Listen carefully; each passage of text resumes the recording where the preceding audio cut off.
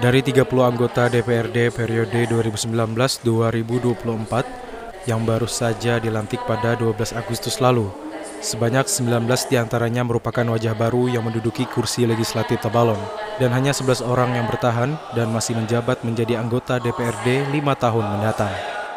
Banyaknya wajah baru yang menghiasi kursi DPRD kini menjadikan mantan Ketua DPRD Tabalong periode 2019-2024, Darwin Awi berharap anggota DPRD baru dapat menjalankan tugas pokok legislasi dan dapat melanjutkan program DPRD periode sebelumnya, terutama membuat kebijakan yang dapat mensejahterakan masyarakat Tabalong.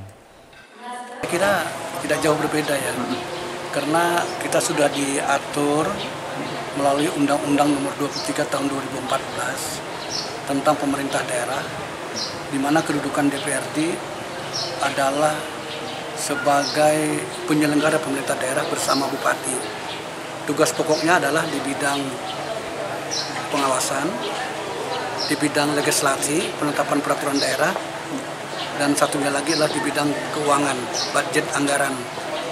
Darwin juga menambahkan, di akhir masa jabatannya sebagai Ketua DPRD Tabalong, dirinya mewakili anggota DPRD periode 2014-2019 mengucapkan maaf kepada masyarakat apabila ada hal yang kurang berkenan dalam mengambil kebijakan selama menjabat sebagai Ketua DPRD Tabalong.